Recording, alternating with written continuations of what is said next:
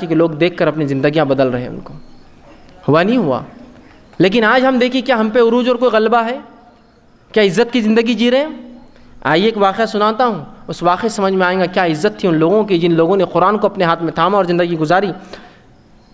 چھ سو باویس یہ جو ہے عمر ابن خطاب رضی اللہ عنہ کے دور کے بعد کا واقعہ ہے۔ اور چھ سو باویس عیسوی کی کم و بیش بہرحال یہ واقعہ ہے۔ جس کے اندر ہوا یوں کہ ابو ایوب انصاری رضی اللہ عنہ ایک وفد جو خستن دنیا سے لڑنے کے لیے گیا کانسٹنٹنیپول ٹھیک؟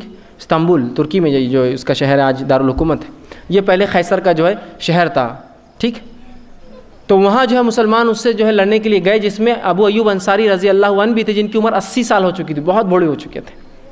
جب وہاں گئے، لوگوں نے مسلمانوں نے پڑھا، تعالیٰ کوئی جنگ تو نہ ہوئی، لیکن ابو ایوب انصاری رضی اللہ بیماری سے انتقال کر کے فوت ہو گئے۔ ان کو وہیں قلعے کے بازو دفنا دیا گیا۔ فوج جہاں گھراؤ کر کے رکھی تھی، وہیں دفنا دیا۔ جب قلعے کے بازو دفنایا اور خیسر کو پتہ چلا کہ یہ صاحب رسول تھا، یہ ان کے جو ہے، نبی کا ساتھی تھا، تو اس نے خط لکھا، اس فوج جو جا رہی تھی، کہا، تمہارے جانے کے بعد اس کی ہڈیوں سے میں کھلواڑ کروں گا۔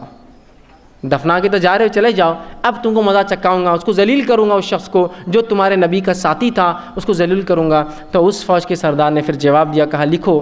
اس کو جواب دو خیسر کو، اور کہا قسم اس ذات کی، جس کے ہاتھ میں ہماری جان ہے، اللہ کی قسم کہتا ہوں، اگر تو نے یہ سلوک کیا اس کی خبر کے ساتھ کی تو نے اس میں سے ہڈیاں نکالی، تو یاد رکھنا، جتنے گرجا ہماری حکومت میں تمہارے سب کو ڈھا دوں گا، اور پورے عیسائیوں کی جو ہے خبریں اکھاڑ کر رکھ دوں گا۔ جیسے یہ خط وہاں پہنچا خیسر کے پاس، تو خیسر نے جواب دیا، میں تو صرف تمہاری دینی حمیت کو جانچ رہا تھا خسم کماری مریم کی۔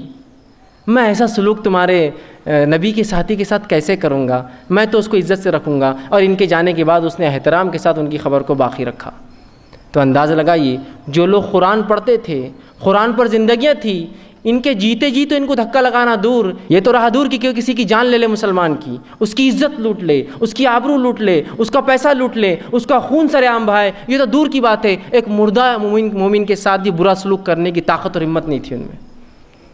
ایک مرے ہوئے انسان کے ساتھ برا سلوک کرنے کی طاقت نہیں تھی ان میں، یہ تو رہا دور کہ کسی زندہ مومن کو کبھی دھکا لگائے اور ہاتھ لگائے۔ تو کیسا عروج اور غلبہ دیا تھا اللہ نے؟ کیسی عزت دی تھی قوموں کے اندر کہ مر بھی جائے تو لوگ رسپیکٹ کر رہے ہیں اس شخص کی۔ آج جیتے جی ہمارے کیا ویلیو اور کیا وزن ہے؟ وہی وزن ہے ہمارا جو رسول اللہ نے فرمایا تھا، ایک زمانہ آئیں گا تمہاری تعداد تو بہت ہوں گی، لیکن تمہاری مثال سمندر کی جھاگ جیسی ہوں گی۔ سمندر کی جھاگ کی کوئی ویلیو ہوتی ہے؟ آتا ہے، بہت زیادہ رہتا ہے۔ سب سمندر واپس جاتا ہے، تھوڑی دیر میں بلبلے ختم ہو جاتے ہیں۔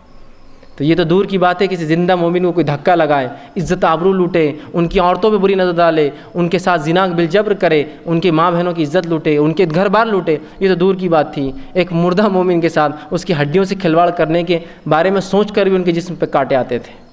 تو ایسی عزت دیتا ہے اللہ قرآن وال پڑھنے والوں۔ ایسی عزت دیتا ہے قرآن پر عمل کرنے والوں کی، کہ ان کے مردہ میت کے ساتھ بھی وہ کھلواڑ کرنے کی ہمت نہیں کرتا۔ تو یہ عزت ملتی ہے یاد رکھیے، اور اگر نہ ہو تو ایسی ذلت ملتی ہے کہ جیتے جی جو ہے لوگ ہم کو اگر اٹھو بولے تو اٹھنا پڑتا، بیٹھو بولے تو بیٹھنا پڑتا۔ اقوام عالم کی گندگی اور گھان کھا کر زندگی گزارتے ہیں ہم دنیا کے اندر۔ جب لوگوں کو دینے والے تھے، آج لینے والے بنے ہوئے۔ تو یہ ذلت ملتی ہے قرآن چھوڑ کر۔ اسی طرح برزخ میں کیا ہوں گا؟ یہ تو دنیا کی ذلتیں تھیں۔ کہیں بے شمار ہے، میں نے تین گنوائی صرف۔